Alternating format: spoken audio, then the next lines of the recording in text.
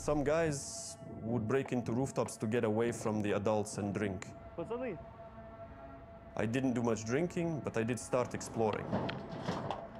Oh. The higher I went, the easier it was to breathe.